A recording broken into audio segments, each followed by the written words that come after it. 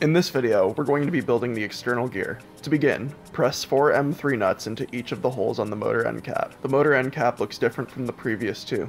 Make sure they are completely flush. These will serve to hold the external gear in place on the robot. Next, take any four M3 bolts that you can afford to throw away and tighten them into the nuts from the other side, just enough to be flush so no epoxy gets into the threads of the nut. Pull back on the bolt to make sure that the nuts are still flush after this. Then, feed the wires of the motor through the center hole of the motor end cap. Make sure the side with the indentation and notch line up with where the wires come out of the motor. After this, remove the motor end cap and coat the bottom of the motor in epoxy. Make sure none gets into the center hole as this is where the shaft of the motor is. Then line the wires up again and press the motor end cap down. After you press it down, pull the bolts out all the way to make sure the nuts are seated. Before the motor dries, we're going to put it in the external gear so it dries aligned to it and also with some compression. Set a 6810 bearing into the top side of the external gear and make it flush with the platform below.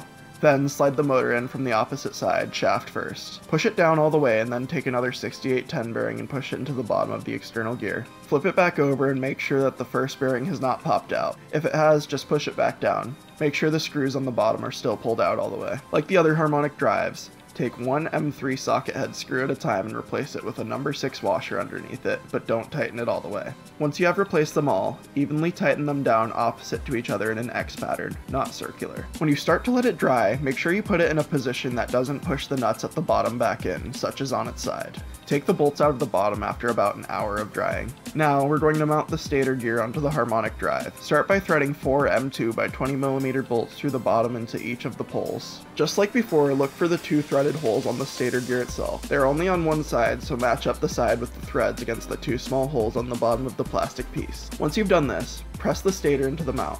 It won't be flush, so don't worry if there's a little bit exposed. Like the other stators, thread M2 nuts onto the top of the bolts. Then, take two M3 by 12mm socket head screws and evenly tighten them into the two holes on the bottom of the mount. This is what will hold the stator gear in place. When the stator gear is secure, match up the ridges on the outside of the stator gear mount. These fit into the notches in the external gear. Line them up and press the stator gear mount into the external gear, spinning the shaft once in a while as you're going. Spin the shaft as you're done as well to ensure that there are no anomalies.